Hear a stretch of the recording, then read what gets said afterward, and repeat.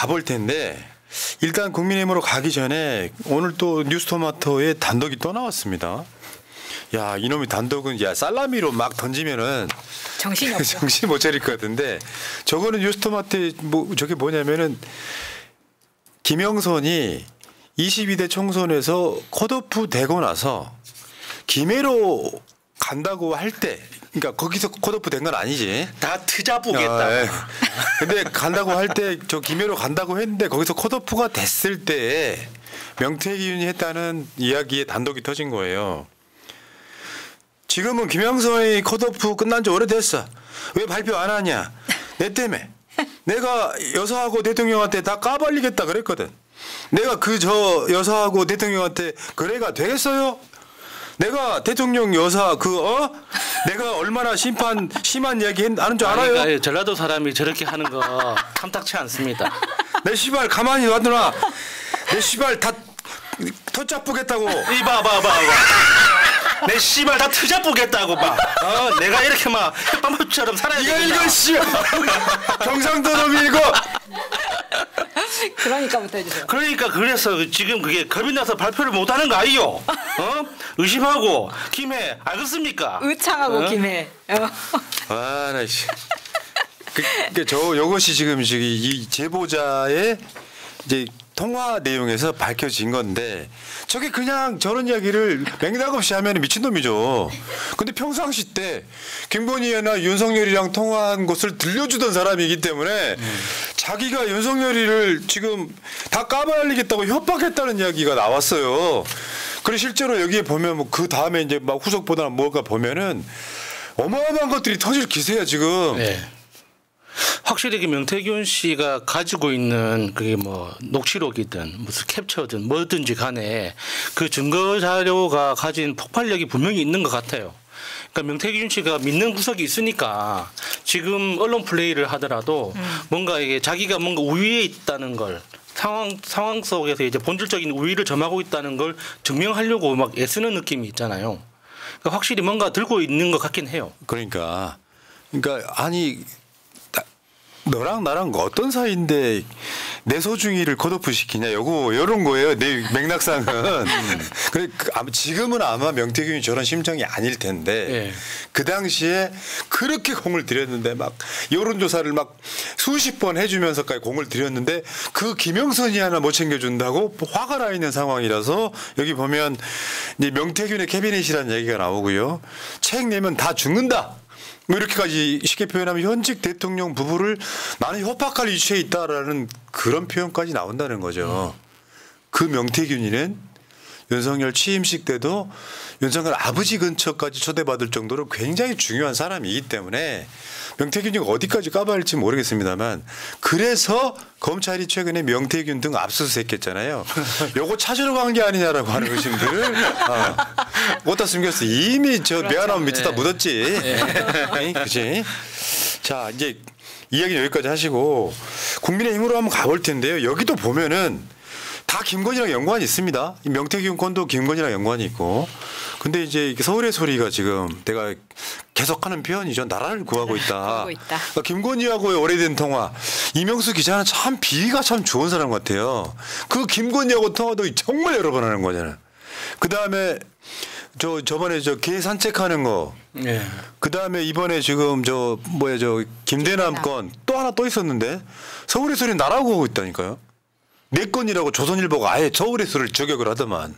절반은 그 서울의 소리의 절반은 이명수 기자가 아, 활약을 하는 것 아. 같아요. 그 정말 누구도 따라갈 수 없는 그 매력. 친화력. 어. 네, 딱 통화만 하면 다 털어넣게 되는. 전 전생의 김건희 남편. 예. 그 이태원 어딘가를 헤매면 거기 어느 골목길에선가 다시 만나게 되는 그런 사이. 만날 사람은 언젠가 다시 만나는 사이. 근데 이게 이제 중요한 건 국민의 힘에서 이게 발칵 뒤집혔다는 거예요. 한동훈 치면 여사가 좋아할 거다. 저 오른쪽에 있는 김대남이가 이명수 기자한테 했던 이야기가 틀어졌었잖아요. 근데 이 사람도 정신병자가 아니잖아. 대통령실에 근무했던 사람이잖아요. 근데 통화하는 거 보면 굉장히 흥분을 잘하는 사람 같더라고요. 이명수 기자가 얼마나 좋은지는 모르겠지만 이명수 기자하고 통화만 하면은 너무 흥분해가지고 막 기분이 하이가 돼서 막 떠드는 것 같은 그런 기분이었어요. 맞장구를 잘 쳐주니까 슬슬 이제 그런가? 하는 것 같아요. 저도 내일 이명수 기자 나오는데 예. 저렇게 되는지 한번 보겠습니다. 이명수의 치명적 매력 그런 거. 근데 저 사람이 이상한 또라이가 아니라니까요. 정상적으로 좋은 학교 나와서 대통령실 비서관까지 하고 지금 금융 관련 기관에 연봉 3억. 어, 그 연봉 3억 넘는 곳에 가 계신 분이세요. 그런데 이제 내용 다시 한번 볼게요. 저게 이제 이제 여기 저 공격 사주의 내용이에요. 기업으로 따지면 저 경상도 출신 아니고 강원도 출신이거든. 예. 뭐 야숙 한번 해볼 만해 욕심도 한번 내볼 만해. 왜냐면 기업으로- 비슷해 언어가. 기업을 기업으로 따지면 자기를 그거를 했으니 횡령이지 횡령. 맛이 안 난다. 대통령 해봐라. 되려고 처음서부터 거기서 비대위에서부터 수작을 부렸다. 아니 차라리 녹취를 틀어줄 걸. 우리 일부러 안 트는 이유가 있어요. 그 단독은 나는 서울의 소리만 써야 된다고 생각하는 주의를 갖고 있는 사람이야 원래. 기업으로 따지면 자기를 그 그러니까 그걸 했으니 횡령이지 횡령. 여기서 말하는 자기가 한동훈입니다. 대통령이 되려고 처음서부터 거기서 비대위에서부터 수작을 부렸다. 너희가 여기서 말한 너희는 서울의 소리 말하는 거예요. 너희가 이번에 그거 잘 기획해서 서울이 서울의 소리에서 한동훈이를 치면 아주 여사가 너희 이명수 야 들었다 놨다 했다고 좋아하겠는데 근데 내가 봤을 때 김대남이는요 서울의 소리의 이명수 기자가 김건희하고 녹취를 틀었던 매체인지 모르는 것 같은 느낌이 있었어요. 거기다가 저 맥락에서 그러니까 김대남 씨의 위치를 좀 추정할 수 있는 게 김대남은 저 때까지 지금도 그런지 모르겠는데 저 때까지만 해도 김건희하고 직접 소통하는 사이는 아니라는 뜻이에요. 음. 전체 맥락에서 보면 그러니까 한 달이 건너서 김건희하고 소통하고 있다는 게 지금 맥락에 깔려 있잖아요. 음. 그러니까 그 관련해서 지금 서울의 소리 3탄 나온다는 거거든요. 여기서 중요한 건 황종호라는 친구예요. 황종호. 그 강원도 그 그치 그치. 공사업체 동해. 사장의 아. 아들이라는 동- 그. 그 황종호가 이 김건희를 밀착 수행하는 친구인데. 김건희 목덜미. 아, 그러니까 대통령실에서도 육두품이 있고 성골이 있는 거예요. 황종호는 성골인 거야. 그러니까 그 대화에도 보면 황종호한테 나는 지금 뭐 강릉 안 나갈 거고 뭐뭐 영일 안 나갈 거고 뭐뭐 이런 이야기를 황종호한테 전달했다는 얘기가 나와요. 네. 김건희 수행인 황종호한테. 근데 근데 또 삼탄 떠나온답니다. 야 이거 이거 지금 바짝바짝 마르지. 아니 거기에 보면은 또 권성동 와이프한테까지도 이야기했다는 이야기를 아, 하는 걸 보면은 아 무런 힘이 없다 하더라도 어디든지 좀 매달려 보려고 했었던 네. 그게 보이더라고요. 자 어쨌건 간에 그 김대남이가 이렇게 해서 서울의 소리가 보도를 합니다. 한동훈 비대위원장이 저 여의도 연구원 통해 가지고 당비를 횡령했다. 그래서 자기 대선 뭐 이미지 조사 같은 걸 해갖고 총선 때 안 써먹었다 같은 공격을 해요. 그러니까 바로 전당대회 때 그 똑같은 거를 원희룡이가 써먹습니다. 여의도 연구원 비대위원장 당시에 한동훈 위원장의 이미지 조사한 거 왜 시키셨습니까? 그러니까 한동훈이가 잘 받아쳤어요. 그, 그 다음에 뭐라고 받아쳤냐면은 이 지금 선거의 프레임을 바꿔야 되는데 윤석열 정권 심판 안 만들려면 새롭게 비대위원장이 된 내 이미지도 중요하다 뭐 이런 뉘앙스로 이야기를 그게 해요. 주요 취지가 이제 이재명하고 1대1 구도를 만들어야 될 필요가 있었기 때문이다. 그렇게 이야기했는데 그때 이제 욕 엄청 먹었죠. 그럴 거면 출마를 하지. 네. 출마도 안 해놓고 무슨 이재명이랑 1대1 구도냐. 막 그렇게 많이 비아냥을 들었죠. 근데 김대남 입장에서는 가장 곤란한 사람이 돼버렸죠. 대통령실도 권력자와 지근거리에 있는 황정호 같은 사람이 있고 특정이들이 있는 거긴 해요. 근데 전반적인 분위기는 자지우지할 거야. 우리가 계속해서 말씀드려왔잖아요. 대통령실에서는 사람 하나도 들어오면 저거 어디 라인인지 알아본다고. 윤석열 라인인지 국민의힘 라인인지 KK 라인인지 알아본다고. KK가 김건희를 말하는 겁니다. 그런 상황에서 그 김건희 라인인 경우가 가장 조심스러워 한다는 거지 않습니까? 그런데 저 김대남이는 분명히 육두품인 건 맞는 것 같은데 반응이 이런 거예요 지금 이 정말 좋은 자리에 꽂혔잖아 비서도 있고 제네시스 80 나오지 야, 삼 연봉 여- 연봉 3억 6천만 원 나오지 연봉이 3년간 10억이래요. 아 그리고 음. 법인카드 500만 원, 월 500만 원도 따로입니다. 한 대표와 대통령실에 송구하다는 말씀을 전하며 날조되어 주기적으로 방송되는 일개 유튜브 방송에 당정이 흔들리지 않기를 바란다. 그러면 대남 씨가 이명수 기자한테 한 이야기는 뽕 빨고 한 거야? 뽕 빨고 한 거야? 이게 지금 국민의힘에서 어떻게 몰아가고 싶어 하냐면 김대남이 저런 정보를 어디서 받아오냐는 거예요. 그러니까 여의도 연구원에서 연구원에서 밖으로 내보내지 않았던 저, 저 조사를 이렇게 준비를 했다. 저런 과정을 김대남에게 얘기해 준 사람이 누구냐. 이걸 조사를 해야 된다. 방향을 이렇게 잡으려고 하고 있더라고요. 맞죠, 맞죠. 한 한동훈이가 어제부터 반응을 했는데 여기 지금 국민들과 당원들께서 어떻게 보실지 부끄럽고 한심하다. 여기 저 현재 정부 투자 금융기관 감사 이게 이제 김대남을 이야기하는 거고요. 전당대회 당시 좌파 유튜버와 직접 통화하면서 저를 어떻게든지 공격하라고 사주했다. 부끄럽다. 이 이야기. 이 이야기가 이제 이제 시작이 되기 시작한 거죠.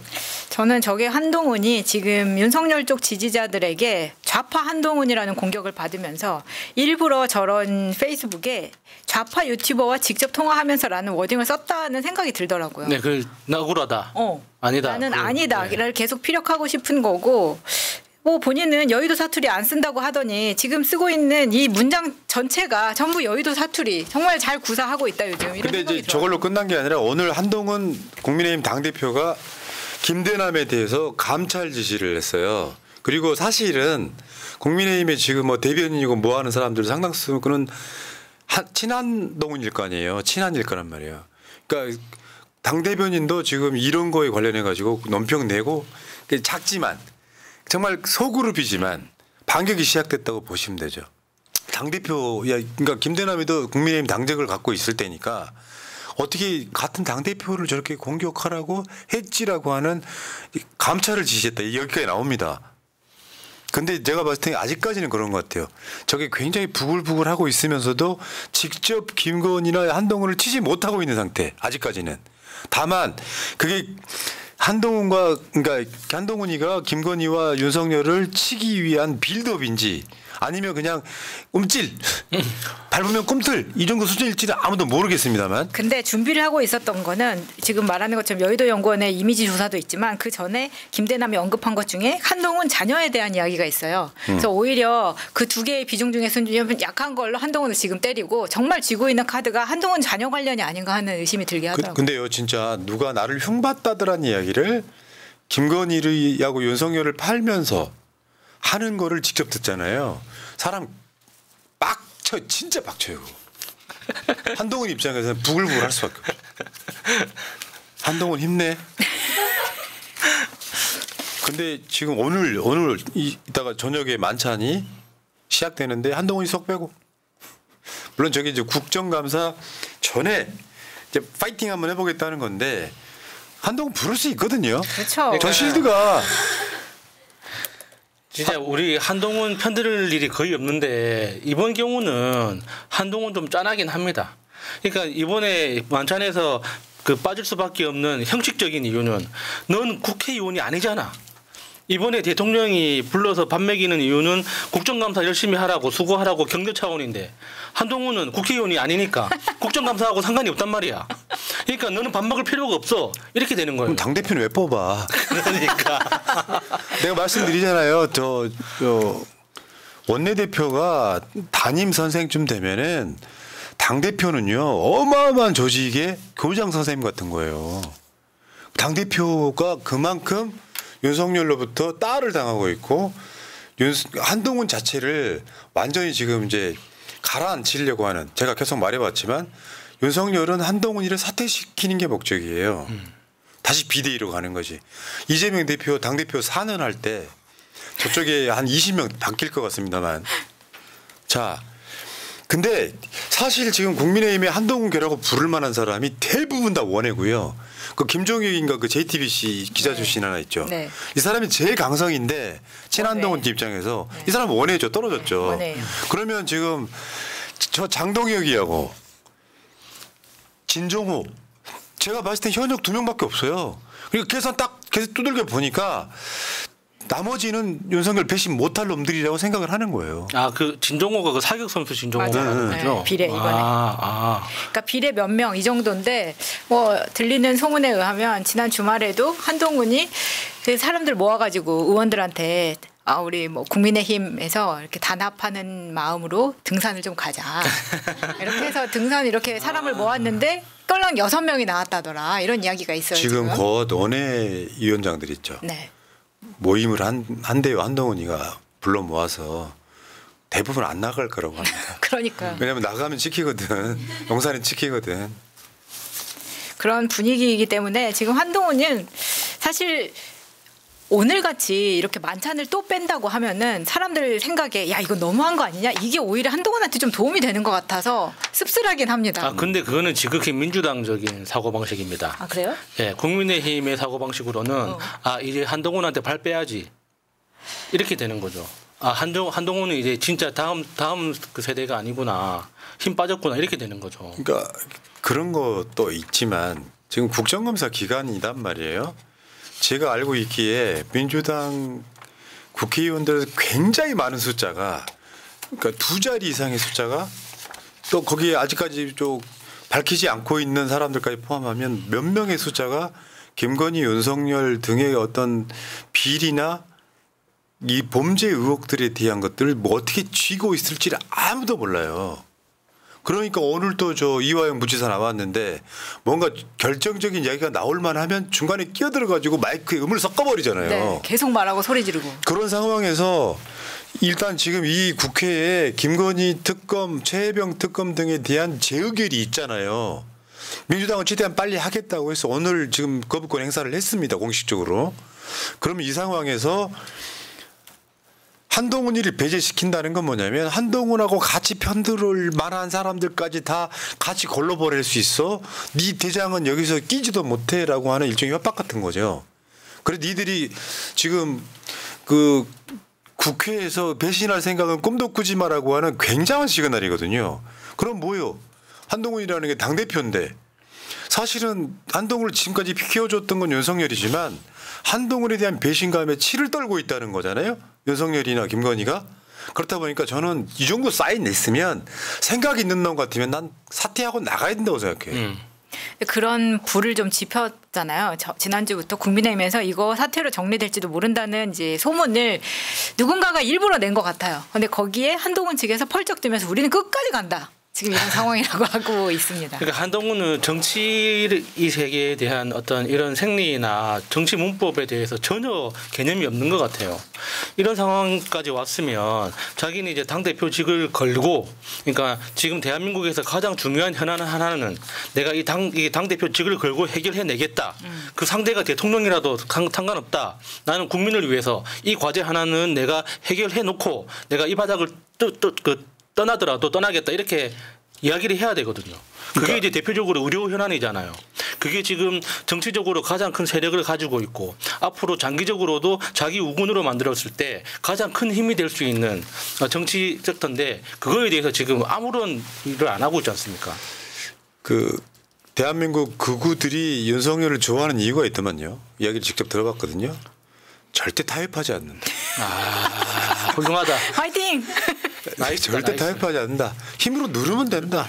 한동훈 그 새끼 그 내가 키워놨더니 그 이렇게 배신하고 말이야 되게 칼 꺾고 말이야 우리 마누라 김- 뭐 김들긴 하고 말이야 그러니까 한동훈 이를 내쫓고 이준석 내쫓듯이 내쫓고 근데 결국 윤석열은 그 입지가 계속 줄어들 수밖에 없고요 저는 무기명 재의, 재의결 투표에서 통과는 못 되더라도 꽤 많은 숫자의 반란표가 나올 거라고 봐요 무기명이잖아요 근데 김건희 그 날마 터지고 있잖아. 이거 한번 보시면은 그러니까 지금 뭐 저 국민의힘에서는 이제 뭐 저 김대남이 추천했던 사람들이 서로 이제 혀가 길어져 가지고 야 저건 내가 추천한 거 아니야 저건 누가 추천한 거 서로 이제 이제 폭탄 돌리기 이런 걸 하고 있더라고요 좀 유치한 짓거리 하는 것 같고 자 어쨌건 국민의힘은 저는 심리적인 분당할 텐데 분당이라고 하면 어느 정도 한 60대 40은 돼야 되잖아요. 이건 뭐시 90 9대 1밖에 안 되는 느낌이라서 사실은 어떻게 보면 한동훈도 정치 생명이 끝나간다고 보는 게 맞고요. 한동훈이 이어서 크게 질러야 돼요. 내가 한동훈이라면 딱 사퇴 딱 하고 반윤 스탠스 딱 가면서 자 김건희 특검과 최혜병 특검은 통과시켜야 된다라는 메시지를 딱 기자회견장에 딱 내고 딱 나가버리는 거야. 그러니까 아니, 아. 한동훈이 현실적인 딱 목표치만 정확하게 두면 됩니다. 그러니까 지금 현재 특검법을 통과시키기 위해서는 8표가 필요하다고 하지만 사실 정치적으로 봤을 때는 20표 이상이 필요한 거예요. 왜냐하면 그 반란표를 던진 20표가 그 국민의힘을 나와서 교섭단체를 결성할 수 있는 정도의 세력은 만들 수 있어야 되거든요. 그래야지 한동훈이 정치적 어떤 구심점으로서 역할도 가져가고 그 반란표를 던진 사람들도 국회 내에서 그 다음 스텝을 볼 수가 있는 거예요. 근데 만약에 진짜 여덟 명만 덜렁 반란표를 던져버리면 그 여덟 명 여덟 명이 색출됐을 때 자기를 방어할 수 있는 방법이 없단 말이에요. 아니 그리고 한동훈 입장에서도 뭐 당 대표라도 하나를 하고 있어야 자기 가족을 지키고 이제 발가벗은 상태에서 양말이라도 신고 있어야 되는 거 아닙니까?